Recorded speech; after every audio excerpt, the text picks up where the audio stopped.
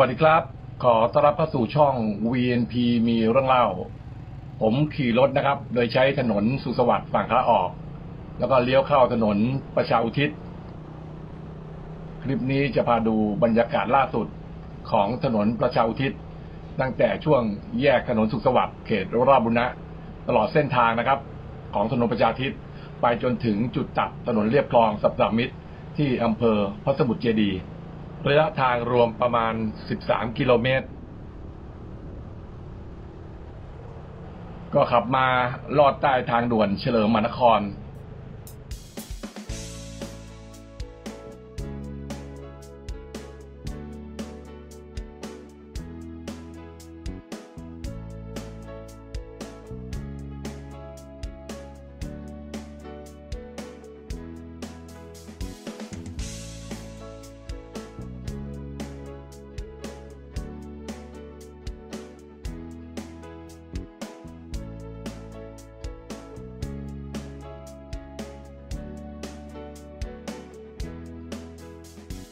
ถนนประชาอุทิศ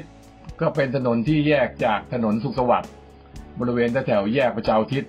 เขตราชบุรณะกรุงเทพมหานคร ลอดผ่านทางพิเศษเฉลิมมหานครในท้องที่เขตราชบุรณะ แล้วก็ผ่านมหาวิทยาลัยเทคโนโลยีพระจอมเกล้าธนบุรี แล้วก็มาตัดกับถนนพุทธบูชา ตรงแยกนาหลวง จากนั้นนะครับ ก็เลี้ยวซ้ายผ่านตลาดทุ่งครุพาซาบริเวณซอย ประชาอุทิศ 61 ลอดผ่านถนนกาญจนาพิเศษด้านใต้ ในท้องที่เขตทุ่งคุ ผ่านวัดคู่สร้าง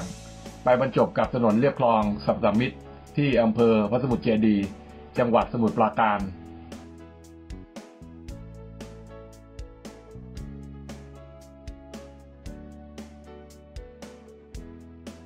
ผมมาใช้ถนนประชาทิศนะครับ ช่วงนี้ก็เป็นเวลาประมาณ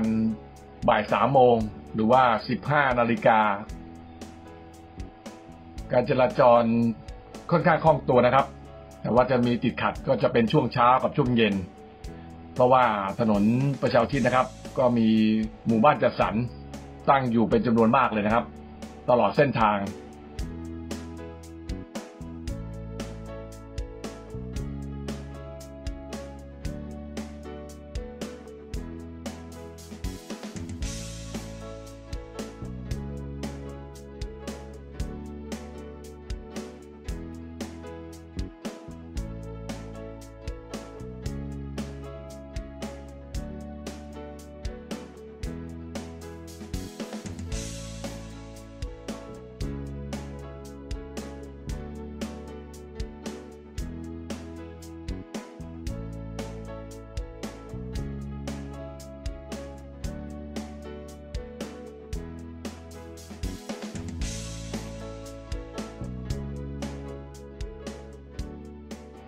ก็จะมีติดขัดบ้างนะครับ เวลาเจอซอยแยกนะ ด้านหน้าผมซ้ายมือก็จะเป็นซอย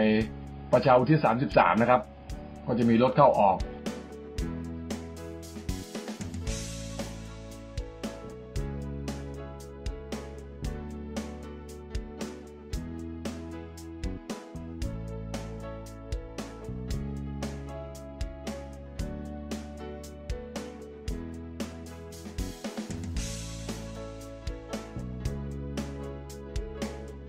เพื่อความราบรื่นในการทำคลิป ผมอาจจะมีขับทางซ้ายบ้างนะครับ แล้วก็ทางขวาบ้าง เพื่อหลบหลีกการจราจรที่ติดขัด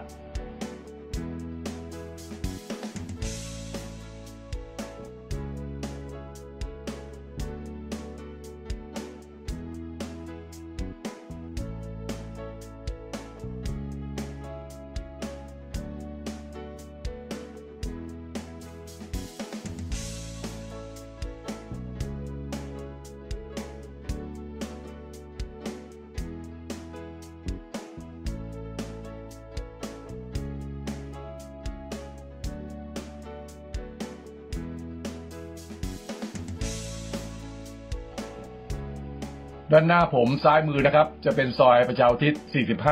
45 แล้วก็ยังเยือนะครับ ด้านขวา ก็จะเป็นทางเข้ามหาวิทยาลัยเทคโนโลยี พระจอมเกล้าธนบุรี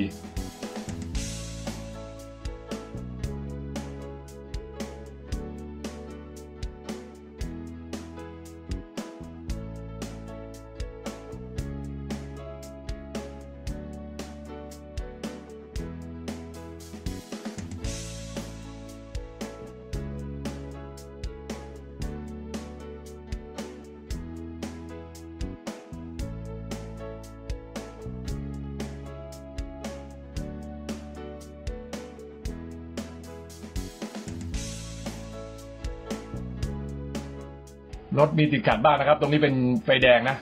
เป็นแยกนาหลวงนะครับ ด้านขวาก็จะเป็นถนนพุทธบูชาจะไปออกถนนพระรามที่สองได้ ตรงนี้ก็เป็นถนนเรียกว่าถนนลัดเหมือนกันนะ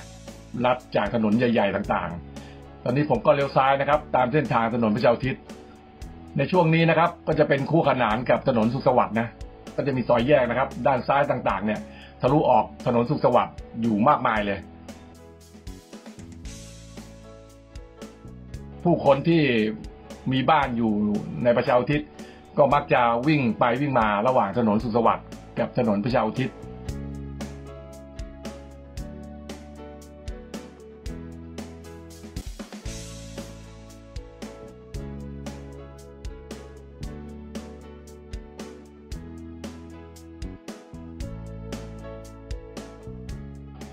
ตลาดด้านซ้ายมือผมนะครับ ก็เป็น ลาดทุ่งครุพลาซ่าซอย 61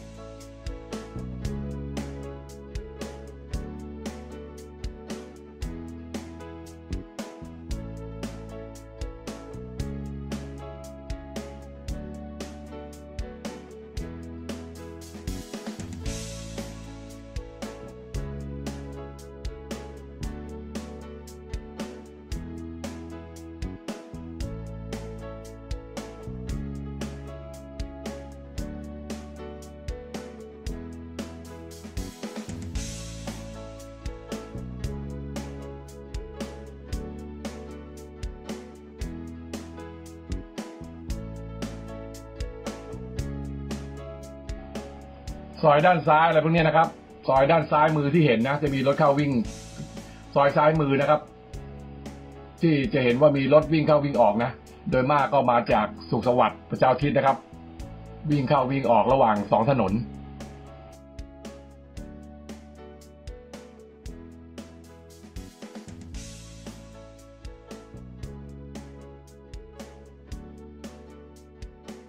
ด้านขวาข้างหน้านะครับ ก็เป็นโลตัสประชาอุทิศ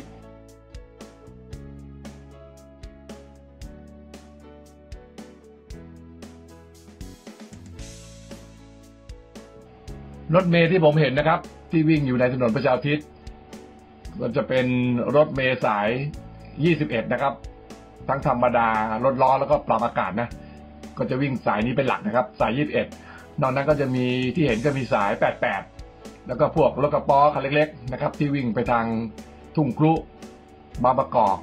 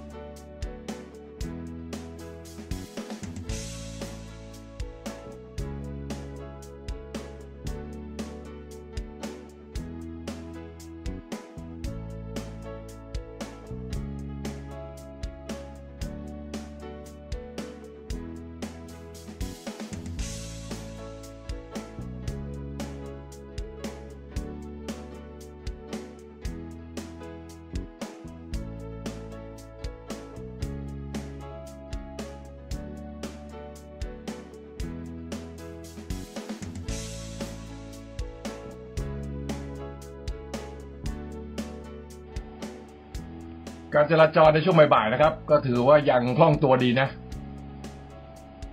ถนนค่อนข้างจะโล่งนะครับ รถไม่มาก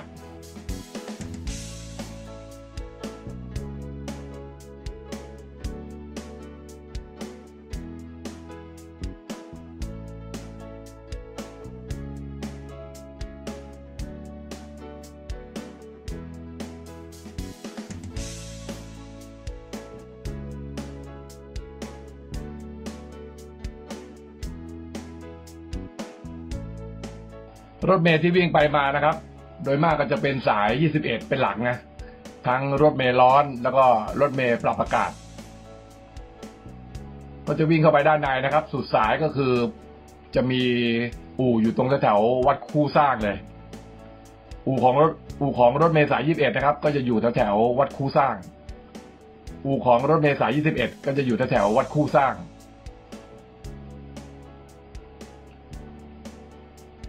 ด้านหน้ามีการจราจรติดขัดนะครับ ก็จะเป็นซอยด้านซ้ายนะก็คือซอยที่รถสามารถจะวิ่งไปทางซอยสุขสวัสดิ์70 ได้ ก็ไปออกถนนสุขสวัสดิ์นะครับ ก็จะเป็นแบบนี้ตลอดเลยนะ ตามเส้นทางนะครับ จะมีรถที่วิ่งจากสุขสวัสดิ์เข้ามาตัดนะครับ ทั้งจากรถที่อยู่เส้นประชาอุทิศนะครับ จะวิ่งไปทางสุขสวัสดิ์ก็วิ่งไปวิ่งมา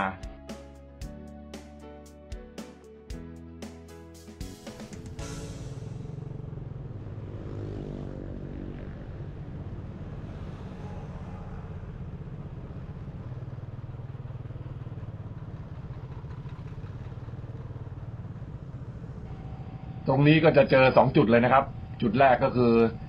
ตรงแถวซอยที่ไปสุขสวัสดิ์เจ็ดสิบแล้วก็เลยไปหน่อย ตรงบริเวณแถวเรียบด่วนกาญจนานะครับ อีกจุดหนึ่ง ตรงนี้ก็เรียกว่าติดสองจุดเลย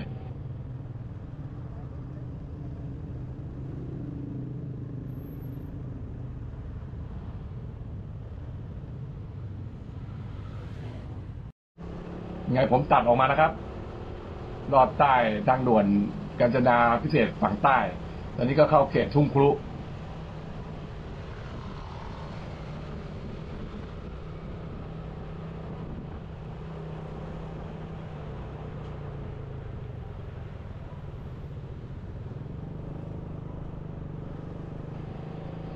โดยมากเท่าที่ผมมาบ่อยๆนะ การจราจรนะครับ จะติดขัดมากๆ เนี่ย อยู่ช่วงประมาณแถวๆซอย90 นะครับ ซอย 90 จนไปถึงแยกสุขสวัสดิ์เลยนะ แยกประชาอุทิศแถวสุขสวัสดิ์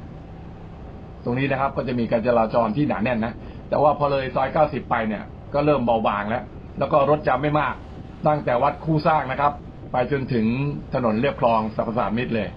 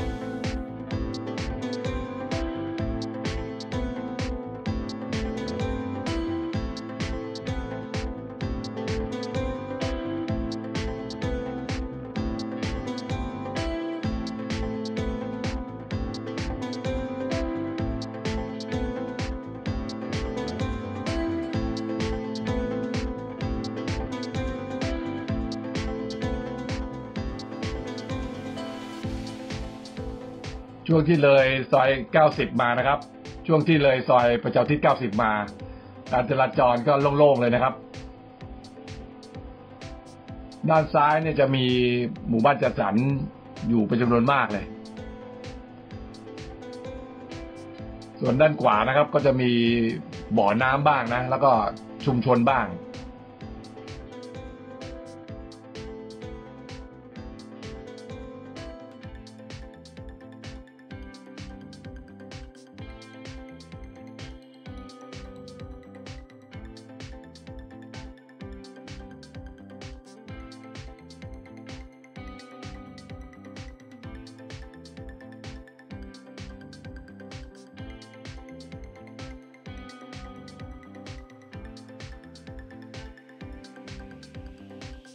ผมข้ามสะพานข้ามคลองบางจากนะครับ ตรงนี้ก็จะเปลี่ยนจากถนนประชาทิศเป็นถนนประชาทิศวัดคู่สร้างนะครับ เปลี่ยนชื่อแล้วนะนะครับ เพิ่มวัดคู่สร้างเข้ามา จากถนนประชาทิศพอข้ามคลองบางจาก ก็เปลี่ยนเลยเป็นถนนประชาทิศวัดคู่สร้าง ก็จะใช้ชื่อถนนประชาทิศวัดคู่สร้างนะครับ จนไปถึงถนนเรียบคลองสัมสามิตรเลย และคลองบางจากนะครับ ก็ถือว่าเป็นจุดแบ่งเขตนะ ระหว่างกรุงเทพมหานคร กับสมุทรปราการ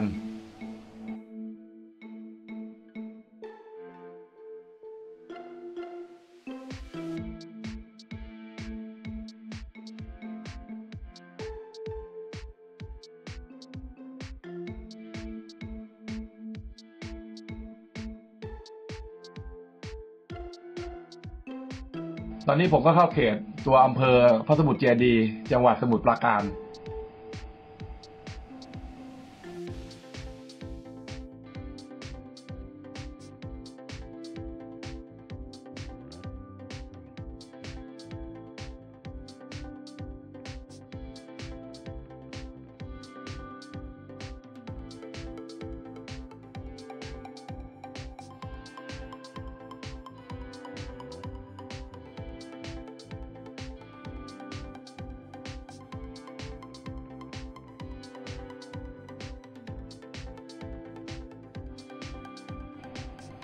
ด้านขวานี่นะครับ เป็นที่โล่งๆนะ ก็เป็น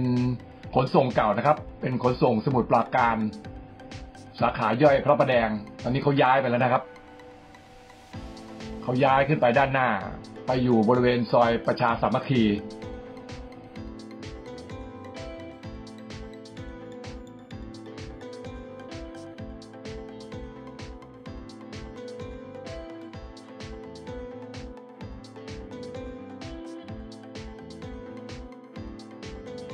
ด้านหน้าขวามือเนี่ยแหละครับ ซอยประชาสามัคคี ด้านใน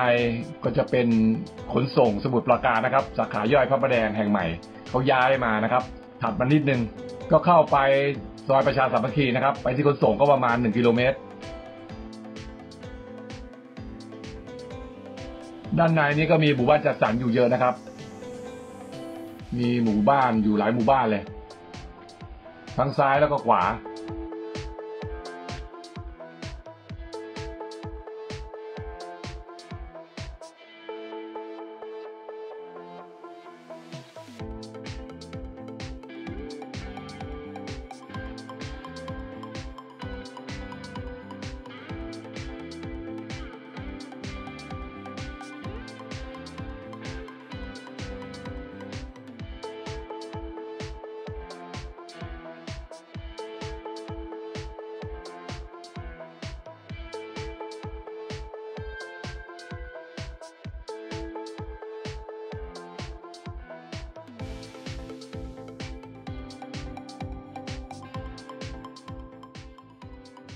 ถนนตรงนี้ก็จะเหลือ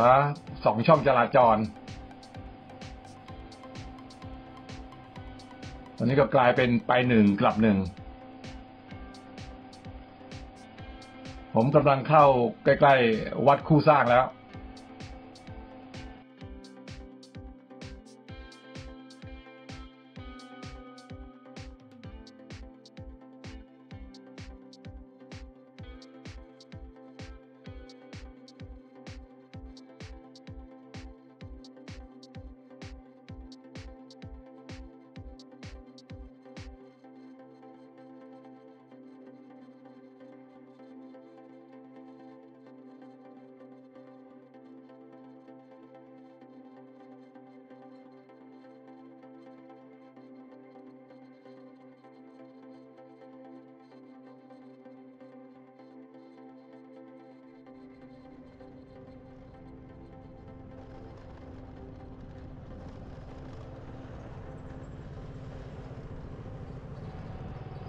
ด้านซ้ายนะครับ ก็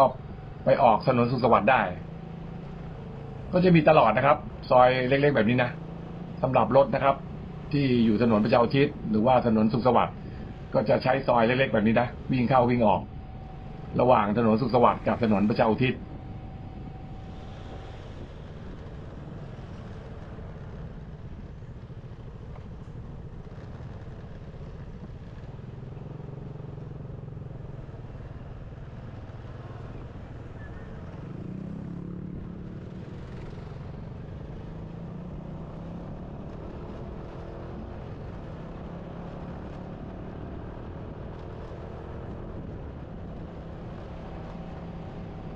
CJ นะครับ ด้านบนนะ ตอนนี้ CJ ก็ขยายตัวน่าดูนะครับ CJ Express นะ เป็นแบบคล้ายๆเซเว่นนะ เป็นคล้ายๆเซเว่นนะครับ ตอนนี้ก็มาแข่งกับเซเว่นนะ ชื่อ CJ ผมสังเกตดูนะครับ เข้ามาทำร้านนะครับ อยู่ขยายตัวเป็นจำนวนมากเลยช่วงนี้นะครับ ปีนี้เห็นตลอดนะ เดี๋ยวขึ้นตรงนู้นขึ้นตรงนี้นะครับ คู่แข่งของเซเว่นนะครับ CJ CJ Express ผมมาถึงวัดคู่สร้างแล้วนะครับ ตรงนี้ก็เป็นจุดสิ้นสุดของรถเมล์สาย 21 นะ เขาจะเลี้ยวซ้ายเข้าไปในวัด เดี๋ยวผมวิ่งต่อไปนะครับ ไปจนถึงถนนเรียบคลองสัพสามิตรเลย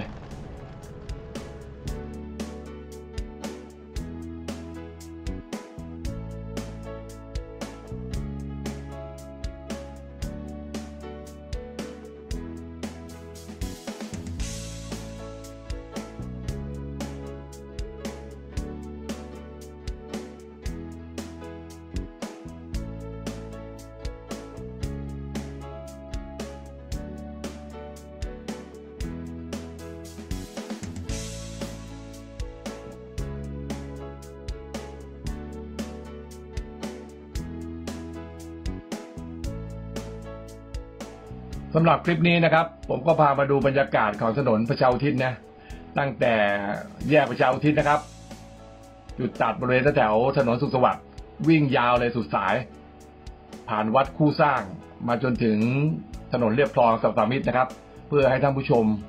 ได้เห็นบรรยากาศนะครับ และทราบข้อมูลล่าสุดของถนนประชาอุทิศนะครับ ว่าผ่านอะไรบ้างผ่านตรงไหนบ้าง คลิปนี้น่าจะช่วย สำหรับอ้างอิงนะครับ หรือได้อะไรบางอย่างจากคลิปนี้